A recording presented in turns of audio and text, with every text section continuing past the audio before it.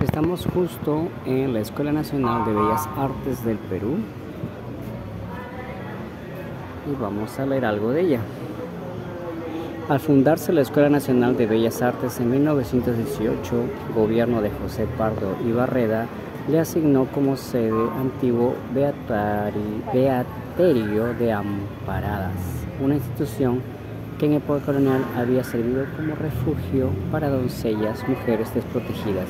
Anteriormente, en este mismo local debe ser, funcionaba el Hospital de Clérigos de San Pedro, administrado por la Congregación de Oratorio de San Felipe Neri.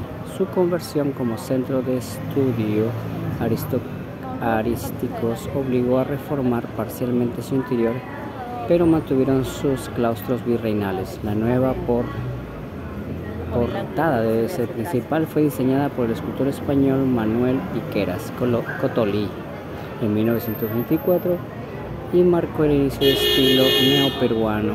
Parece que es neoperuano, no se ve por qué, está como otras cosas que impiden.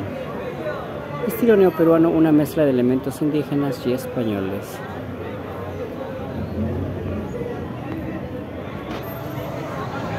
Este está aquí.